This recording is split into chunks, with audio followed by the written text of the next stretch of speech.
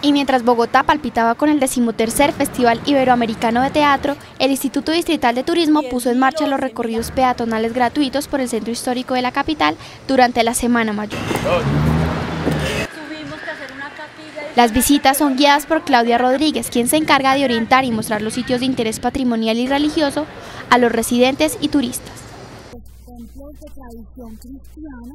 Entre ellos la Catedral Primada, la Capilla del Sagrario, eh, la Iglesia Museo Santa Clara y otros, y otros templos muy importantes de arte colonial, de arte republicano. Los trayectos que duran aproximadamente dos horas tienen como sitio de partida el punto de información turística del instituto, ubicado en el centro histórico sobre la Plaza de Bolívar. Iniciamos en la esquina mayor carrera octava con calle 10, nos vamos a trasladar por toda la carrera octava hasta la calle sexta. Allí eh, nos dirigimos por la carrera séptima al norte para nuevamente haciendo un recorrido circular en la avenida Jiménez con carrera séptima.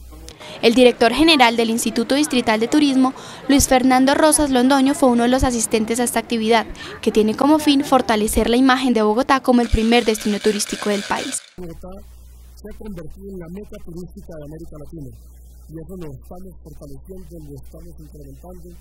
Hacia allá está dirigida la política de Bogotá y es lo que queremos mostrar, una Bogotá amable, una Bogotá que le responda con aprecio, afecto y seguridad, seguridad Personas de diferentes países y ciudades participan de estas jornadas, en donde la historia y la arquitectura son los grandes protagonistas.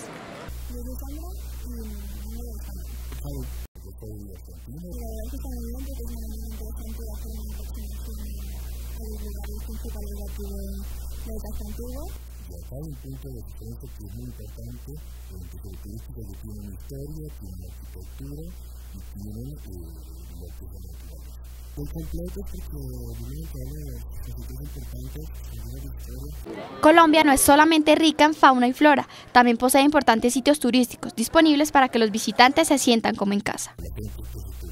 Es positiva. Y esto es lo que viene a gustar, creo que es un paso fuerte de la Los bogotanos y visitantes del país ya no tendrán excusa de no participar en los recorridos turísticos que ofrece la Alcaldía Mayor y el Instituto Distrital de Buen día, en directo.